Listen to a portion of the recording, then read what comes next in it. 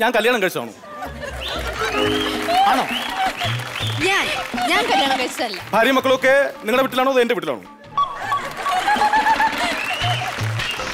എനിക്കാണോ കുഴപ്പം? ചേട്ടനാണോ ഇപ്പൊ കുഴപ്പം? അതൊക്കെ പോട്ടെ. ഞാനിവിടെ വന്നിട്ട് ഞാൻ ചായ കുടിച്ചായിരുന്നു. അതെ ഞാനാരാ? അദ്ദേഹത്തിനോട് എന്തെങ്കിലും സാർ ഞാൻ ചായ കുടിച്ചായിരുന്നു. അതിനപ്പുറത്തേക്ക് നാളോട് അപ്പുറത്തേക്ക് ഞാൻ ചായ കുടിച്ചായിരുന്നു.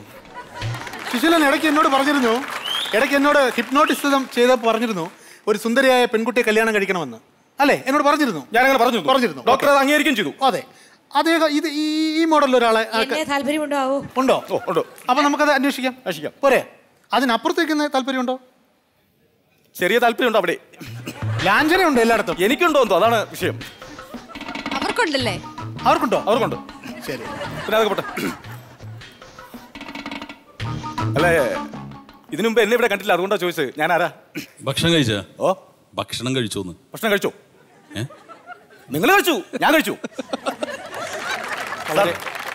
അറിയാലോ. അറിയാം. പിന്നെ എങ്ങനെ പോകുന്നു എന്റെ കാര്യങ്ങളൊക്കെ?